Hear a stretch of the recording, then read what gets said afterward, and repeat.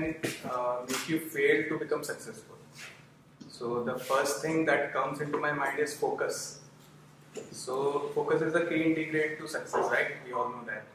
But what has happened to the focus at present times?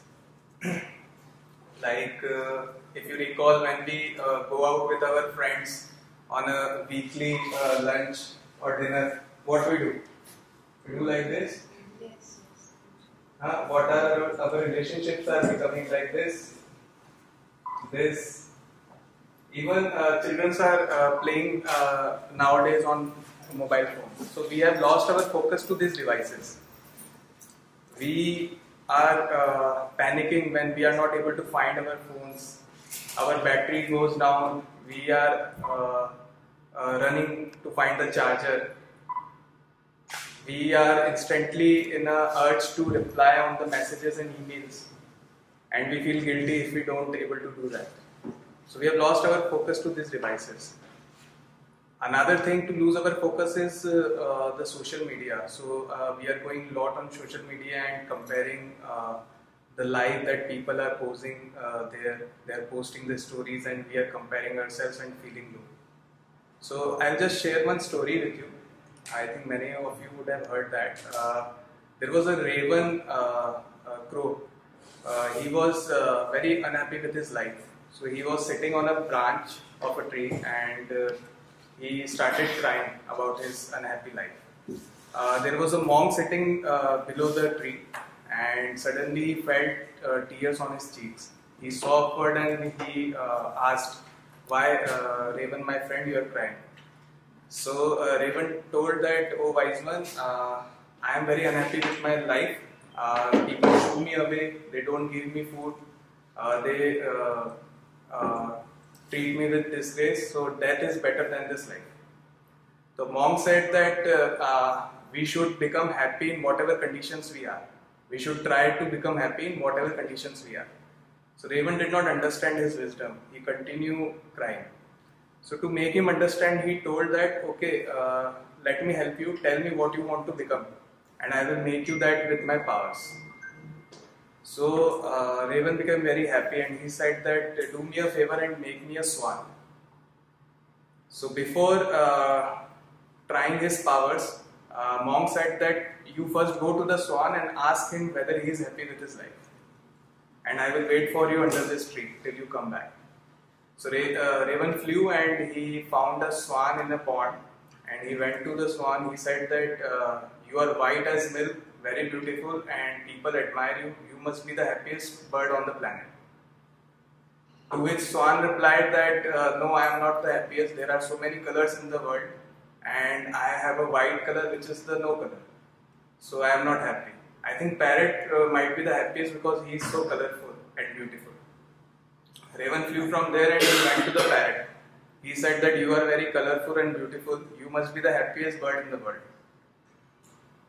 Parrot also replied that no, uh, people keep me in cage and I am always afraid that someone will catch me and keep me in cage. They will imprison me, so I am not happy. I think peacock is the happiest because he is more colorful than me. Raven flew from there and he, uh, after some time, found a peacock in a zoo. There were many people gathered to admire the beauty of the peacock, and uh, after the people left, Raven asked the peacock that you surely are the happiest bird in the world. People are admiring you, people shoo me away, but they are uh, gathering here every day to see your beauty. Peacock also said that no, I am not the happiest. They pluck my feathers for decoration and I am kept in the zoo because of my beauty. So I am not the happiest bird. So Raven asked the peacock that then who is the happiest bird according to you? Peacock said that I have examined well uh, in this zoo and I think you, the raven, are the happiest uh, and the luckiest bird because no one keep you in cage, no one uh, pluck your feather, no one use you, and you can roam freely.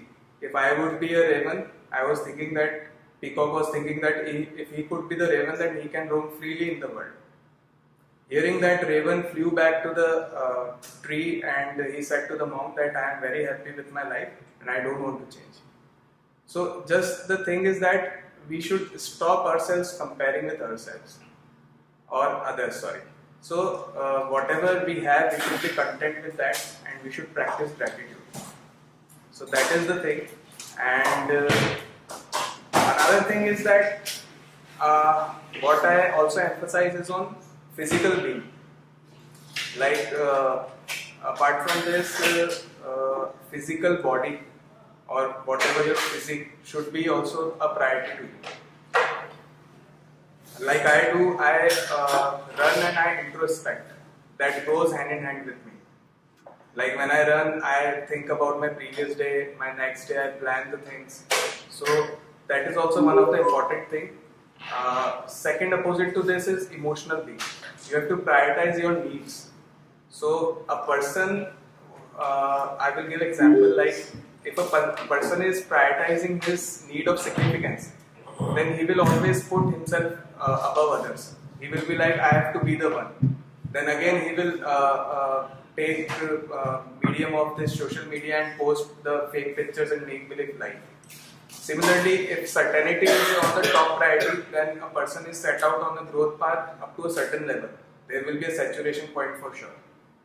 So, uh, I was just reading one book, uh, this mindset by Carol Dweck. In that, uh, the uh, writer emphasized on changing the mindset, mindset to growth mindset.